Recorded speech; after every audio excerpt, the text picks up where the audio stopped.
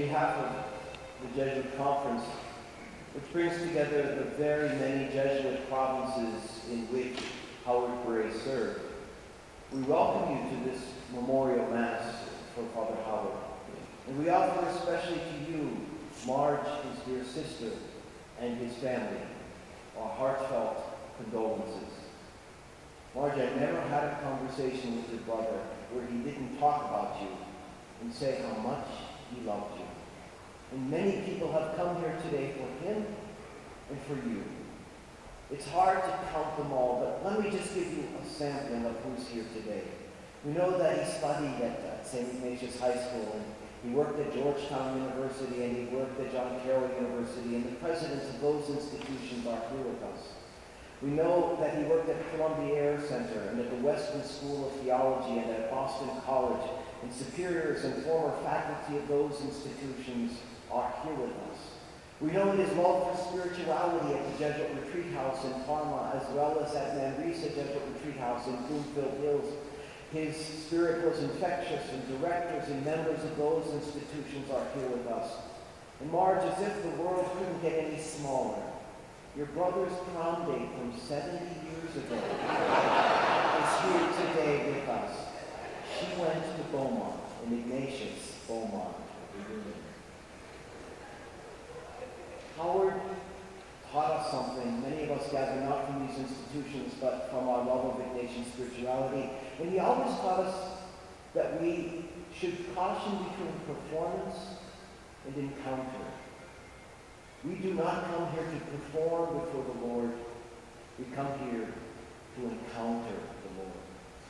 So let us open our hearts, our minds, and our souls, so that as our great teacher taught us, we might encounter the Lord in the mystery of God and in the life and the witness of Howard Gray. And now I invite Father Bradley Schaeffer, former provincial of the Chicago province, to offer words of remembrance. The theologian John Shea says that God made us because God loves stories. And if God made us because God loves stories, creation has been an incredible success. And I'd ask you right now, you've already been doing this, I'm sure, among yourselves, to pick one or two stories about Howard that are nearest and dearest to you. And reflect on how it is that God worked through this good man into your life. I thought of a couple. One is on Sunday night, I happened to be at the hospital, and Howard was on the ventilator, and and unconscious. And I said, Well, you know, Howard, you used to fall asleep regularly in my conferences with you. Um, so this is probably good. And I'm going to make my last confession to you because I kind of know what you'd say. I didn't pick up his hand to give me myself absolution, but, but we did go through the confession. I said, One last time, because I always knew that you would be attentive to me, that you would reverence me, and that you would care for me and brought God to me in that particular way. And I suspect that's what you will reflect on as you listen to all those stories. The other one was a, was a much different context. At the 34th General Congregation, Howard and I were delegates, and Howard labored on one of the decrees, and I was basically his amanuensis. The, the committee I worked on published one, a one-sentence decree, we were done. So I was his typist, basically.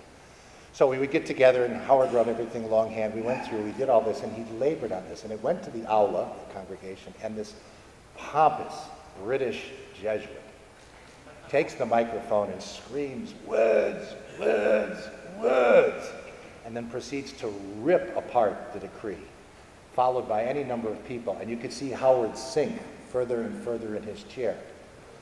So when we got off, I said, How are you doing? Well, he made a couple of snide remarks about a few of those Jesuits, which was Howard's way. And then he sat down and redid the decree. He labored at that. There was an incredible humility. It, his, the whole point of his life was where is God in the midst of all this? What is God trying to say to us? And he became an extremely important instrument at that 34th General Congregation. David Brooks uh, recently, I'm told Howard was talking with the folks at Manresa and said, he was quoting David Brooks, the, the, the columnist, and said, it occurred to me that there were two sets of virtues, the resume virtues and the eulogy virtues. The resume virtues are the skills you bring to the marketplace. The eulogy virtues are the ones that are talked about at your funeral. Whether you were kind, brave, honest, or faithful? Were you capable of deep love? That's what you will hear in the stories you reflect on and share with each other. This man who listened, was attentive, was wise, who was put into situations to, to ease things or to hire people or to, to diffuse delicate situations in remarkable ways, did it with great, great care. Howard's deepest quality, it seems to me, that I love most was reverence. He had an amazing reverence for everything that he was about. You know, he was attentive.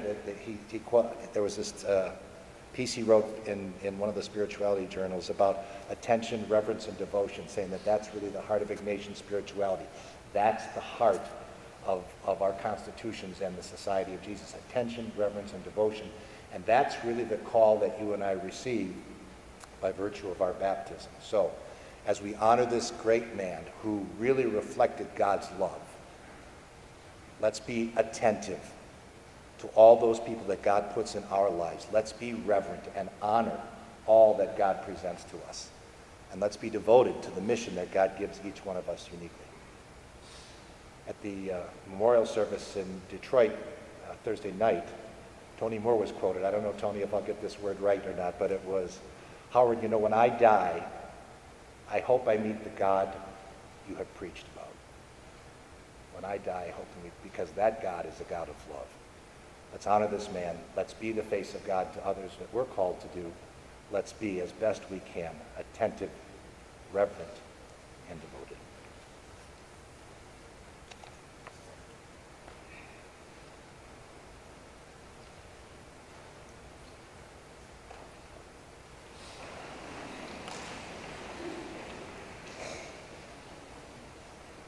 Let us pray.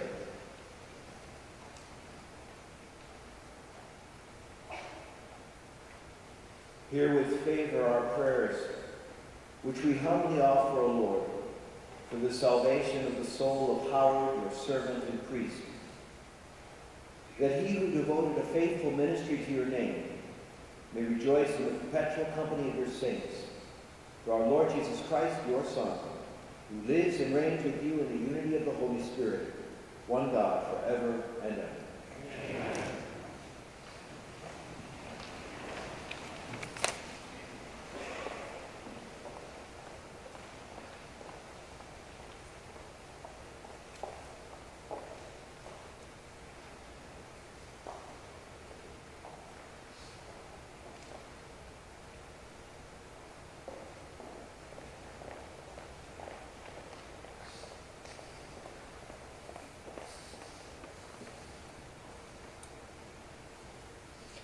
A reading from the book of Micah. He has told you, O mortal, what is good, and what does the Lord require of you? But to do justice, and to love kindness, and to walk humbly with your God. The word of the Lord.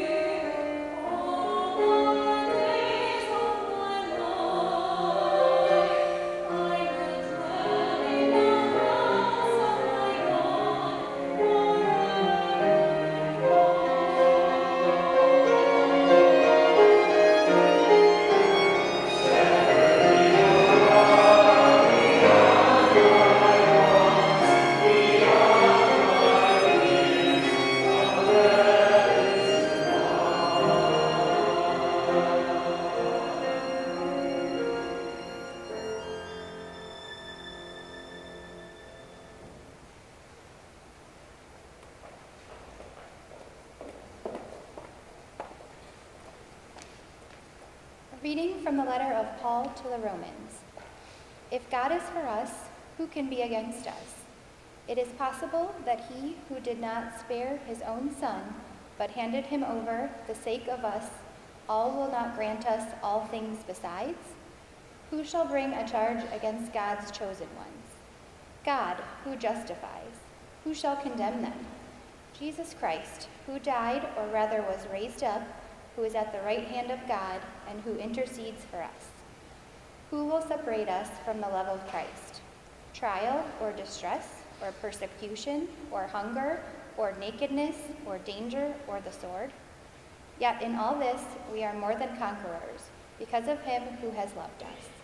For I am certain that neither death nor life, neither angels nor principalities, neither the present nor the future, nor powers, neither height nor depth, nor any other creature will be able to separate us from the love of God that comes to us in Christ Jesus our Lord. The word of the Lord.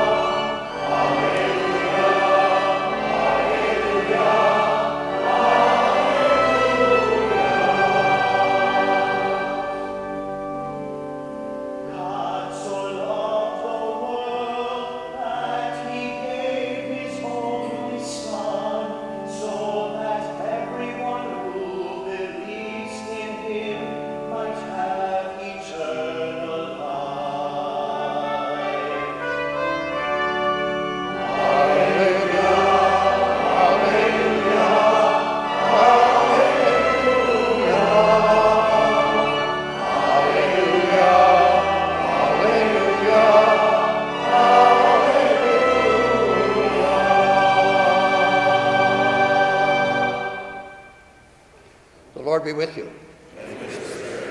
A reading from the Holy Gospel according to Luke.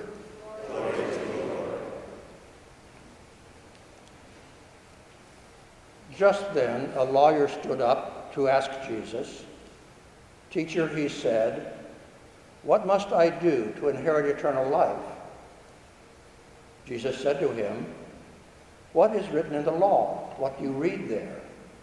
He answered, You shall love the Lord your God with all your heart, with all your soul, with all your strength, and with all your mind, and your neighbor as yourself. And Jesus said to him, You have given the right answer. Do this, and you will live. But wanting to justify himself, the lawyer asked Jesus, And who is my neighbor?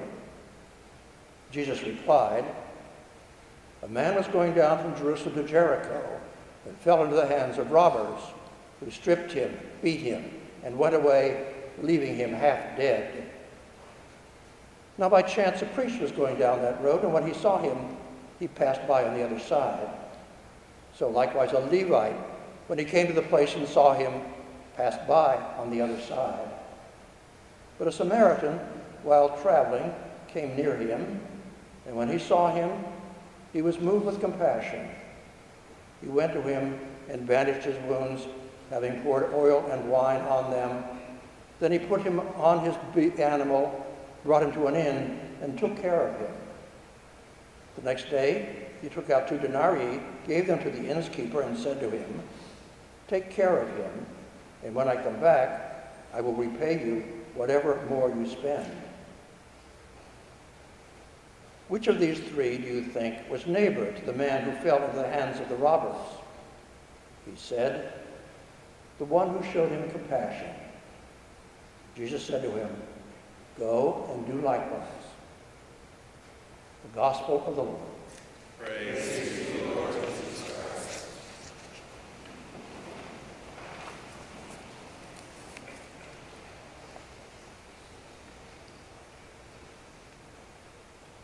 Wishing to justify himself, the lawyer asked, And who is my neighbor?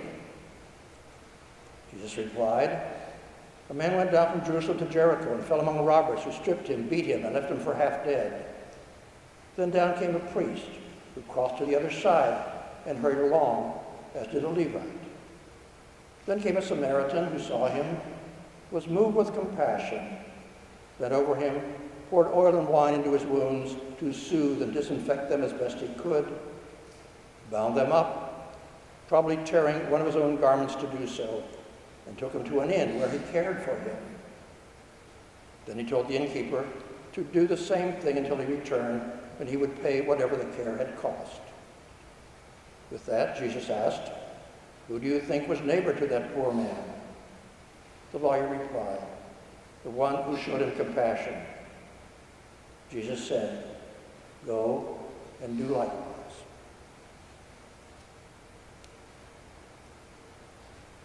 This is one of the most familiar stories from the Bible, and even people who have never heard it or read it know what the expression Good Samaritan means. It is the story that Howard Gray requested be read and preached upon at his funeral. The story of the Good Samaritan is therefore Howard's last word to us. It is his farewell message to us. It is the story he wants us to take to heart and to remember him by. I think Howard would be pleased if we took a clue from the spiritual exercises of St. Ignatius and contemplated each of the persons in the story by asking ourselves with which one we identify. Maybe with the smug and self-satisfied lawyer who could rattle off the right answer to religious questions but did not dare ask himself what the answers might mean for the life he lived.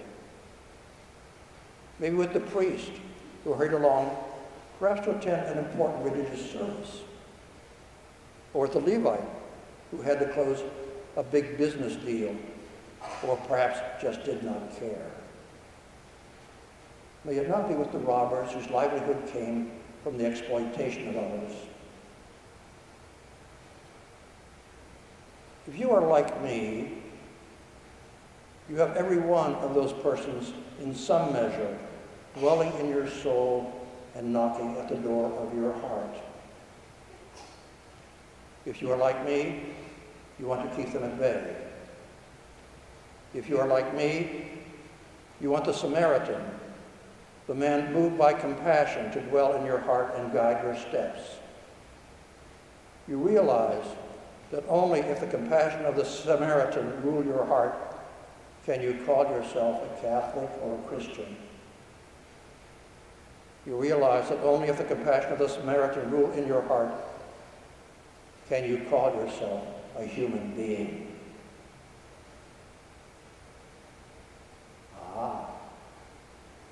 I almost forgot. There's another person in the story. The man who was robbed, stripped, beaten, and left for half dead. The man who was helpless and covered with gaping wounds. The man who was so crushed by the punishment he suffered that he lay there silent, probably only half aware of the dire condition he was in. A pitiful figure. A man who desperately needed another to help him with his wounds and give him succor. Do you in any way identify with him and maybe bear wounds and need comfort and healing? Perhaps wounds you inflicted upon yourself, and perhaps even find yourself continuing to inflict them as if that pattern is part of you. I do. I identify with that wretched man and I know that I'm not alone in doing so. In fact, I believe that wounded man, in some degree, great or small, lives in each one of us. But even if he does not, each of us needs comfort, understanding, and encouragement. Our Holy Father, Pope Francis, calls the church a field hospital. What a beautiful image that is, and how consonant with the story of the Good Samaritan, the story Howard presents to us this morning. If the church is a field hospital, I have known a place within the church where both the badly wounded and the lightly wounded have flocked for many decades. I'm speaking, of course, of Howard Gray. What an extraordinary life he had as a Jesuit. The day he died, the province set out a little biography that listed the important positions he held, including provincial of the Detroit province, where he was not only esteemed as provincial, but loved as provincial. Not a small achievement in the Society of Jesus.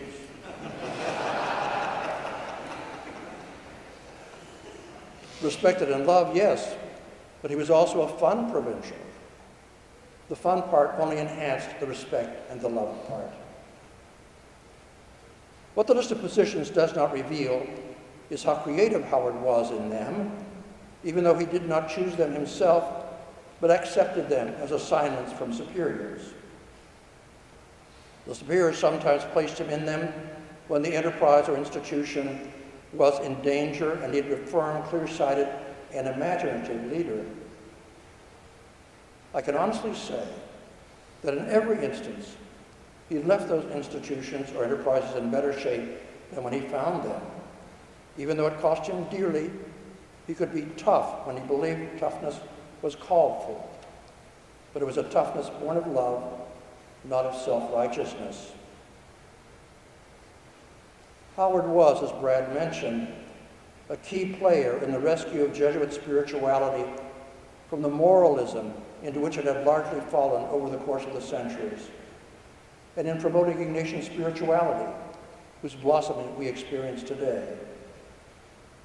He was one of the first to promote the individual directed retreat, and he helped establish programs to teach others how to be compassionate and prudent guides for those making such retreats. He opened the program to lay men and lay women. Today, we take such things for granted. But we need to realize that they constitute a significant turning point in the history of Christian spirituality.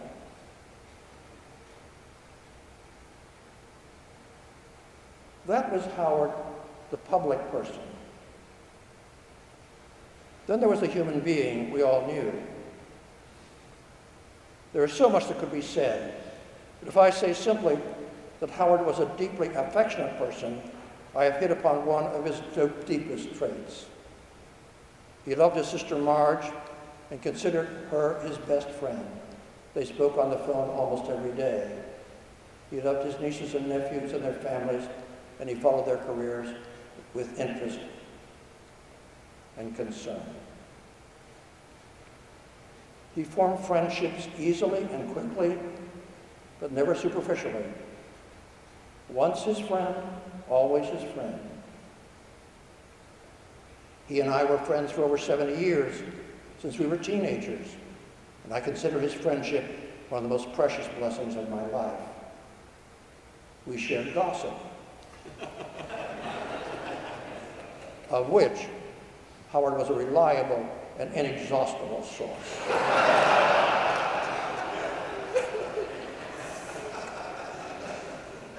We bantered and teased and feigned indignation at one another's foibles.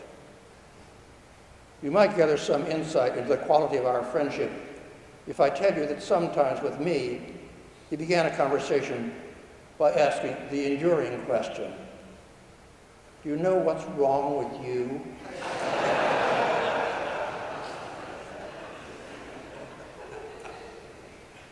Howard looked, he saw, he loved a Jesuit who for years has been engaged in a courageous and indeed life-threatening ministry, wrote me the other day when he heard of Howard's death. He said, Nothing prepared me better for the ministry I have been engaged in for over 30 years than the affection Howard gave me and showed me how to extend to others. He was a tender glance of God, empowering us all to be that tender glance in the world. That was the gift that drew people to Howard with their darkest secrets, their deepest wounds, and their highest hopes. They came to the field hospital he called spiritual direction, and there they found balm for their wounds and comfort for their souls. To that hospital came bishops, university presidents, students, faculty, staff, countless Jesuits, sundry others, and at least one cardinal. Several weeks ago, Howard was at Georgetown University, where he gave a marvelous lecture. In it, he quoted a passage from the spiritual diary of Blessed Peter Faber, one of the founding members of the Society of Jesus, along with St. Ignatius. The passage goes like this. With great devotion and new depth of feeling, I hoped for and begged this from God, that it might be given me to be the servant and minister of Christ the Consoler, the minister of Christ the Helper, of Christ the Healer, the Enricher, and the Strengthener. Thus it would happen that even I might be able through him to help many, to console, liberate, and give them courage, and thus bring help to each and every one of my neighbors whomsoever.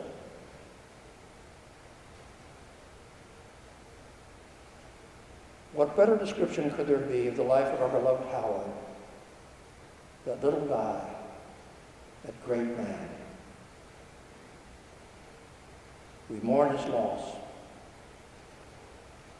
But as we turn now to the Eucharist, which is the liturgy of thanksgiving and the sacrament that comforts and strengthens us in our sadness, we ask the Lord to welcome Howard into his kingdom to embrace him, to kiss him, to put a ring on his finger and the best robe on his shoulders, and then to introduce him to all the angels and saints in that blessed place where the singing and dancing goes on day and night, 24 7, forever and ever, world without end. Amen.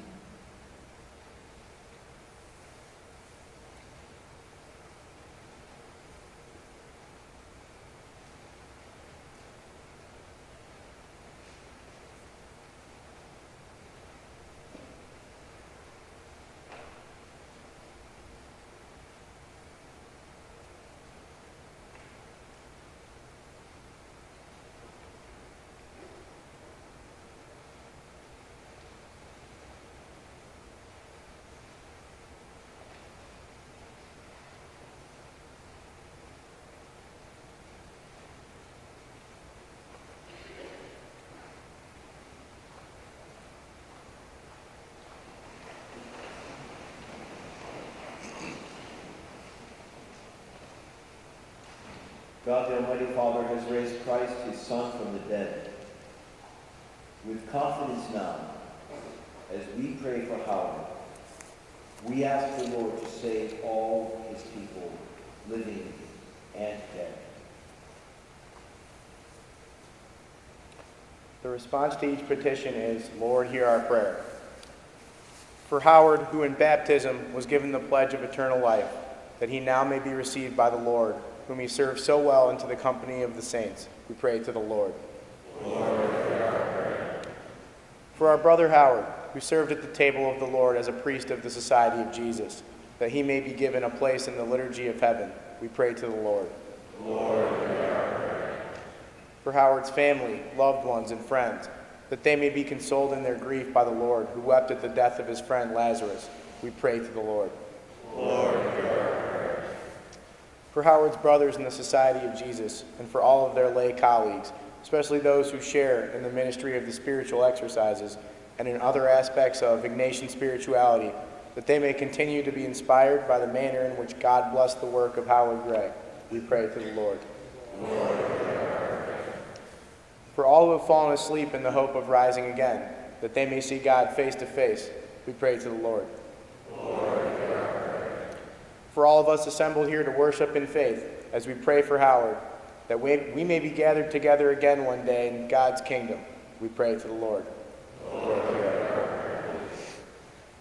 God, our shelter and our strength. You listen with great love to the cries of your people. Hear the prayers we offer today for your servant Howard and for all of our departed brothers and sisters. By the power of your Holy Spirit, cleanse them of all their sins and grant them fullness of redemption. We ask this in Jesus' name. Pray,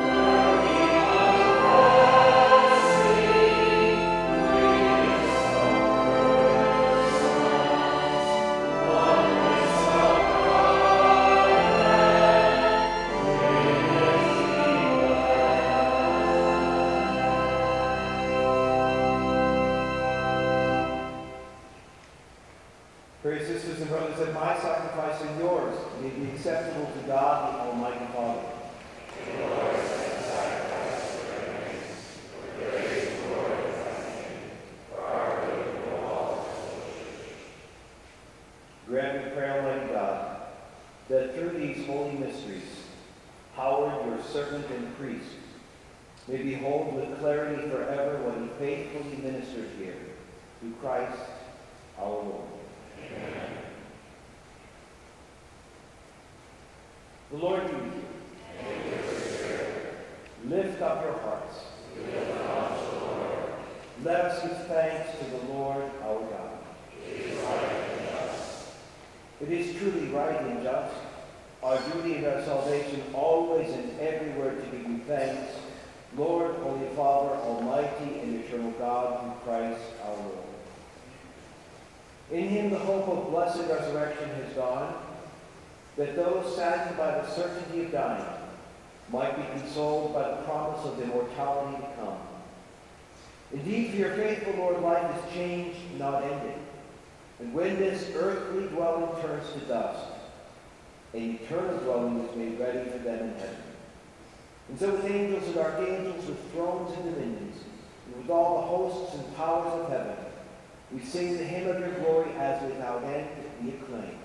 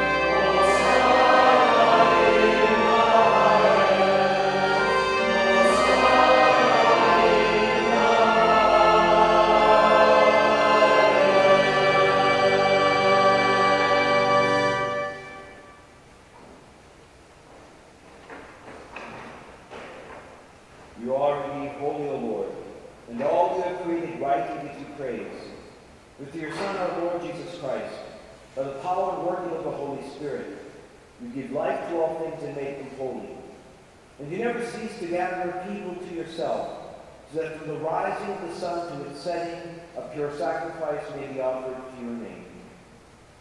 Therefore, Lord, we humbly implore you by the same Spirit, graciously make holy these gifts we have brought to you for consecration, that they may become the body and blood of your Son, our Lord Jesus Christ, at whose command we celebrate these mysteries. From the night he was betrayed, he himself took bread, and giving thanks, he said the blessing, broke the bread, and gave it to his disciples, saying, Take this, all of you, and eat of it, for this is my body, which will be given up for you.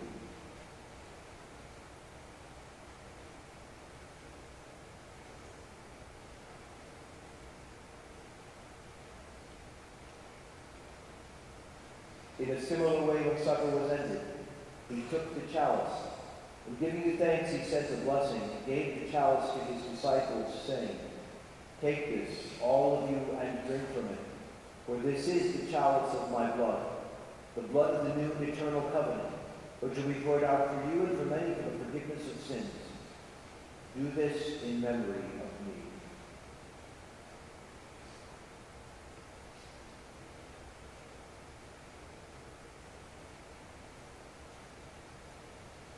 The mystery of faith.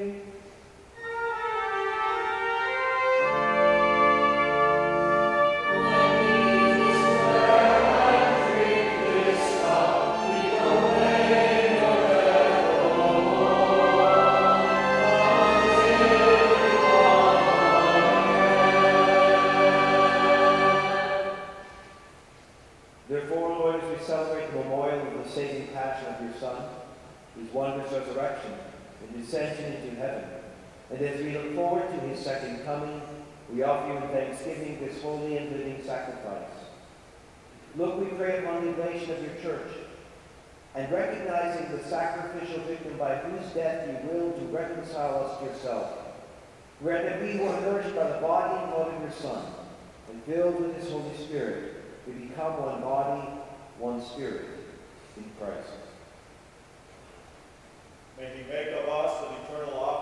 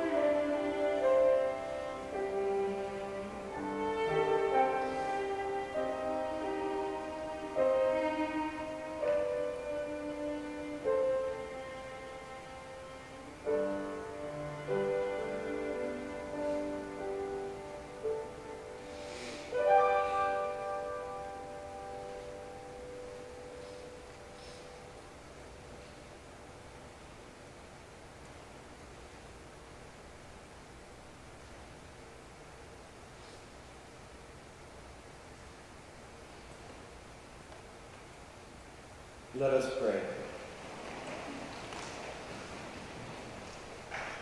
Having received the sacrament of salvation, we implore your kindness, O God, for Howard, your servant and priest, that as you made him a steward of your mysteries on earth, so you may bring him to be nourished by their truth and reality as unveiled in heaven. Through Christ our Lord. Please be seated.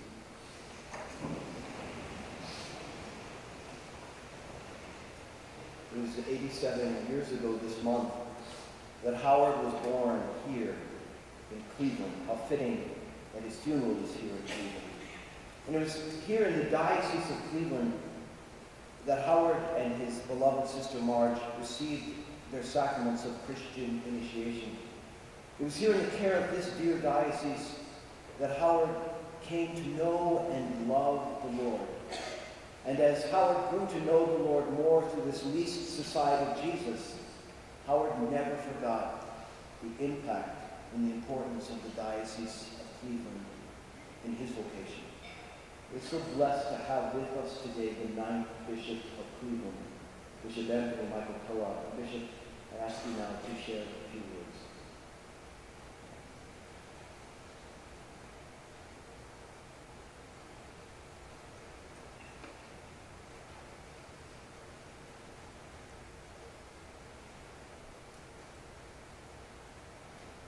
Howard, I just want to congratulate you. I don't think anyone else had this many Jesuits at one place at one time.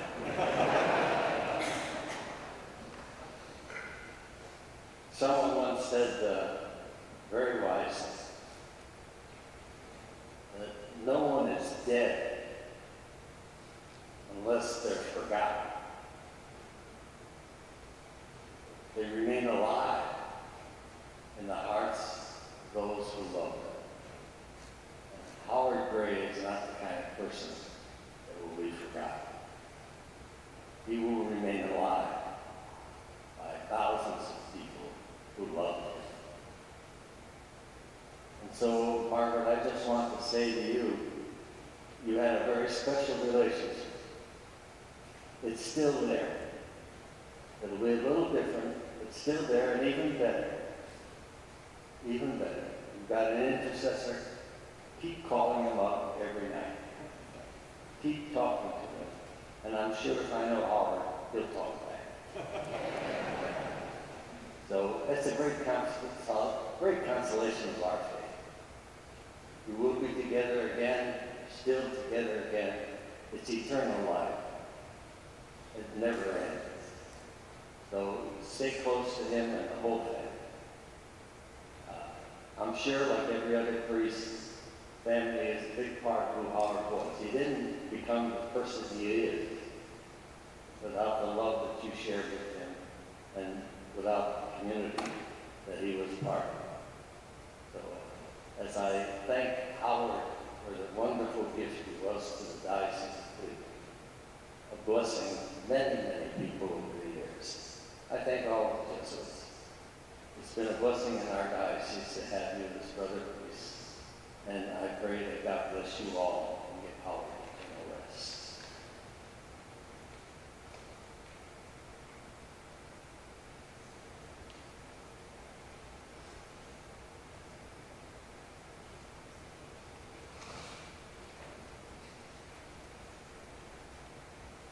As Father John O'Malley said in his homily, Father Howard Gray served as provincial of the Detroit province of the Society of Jesus.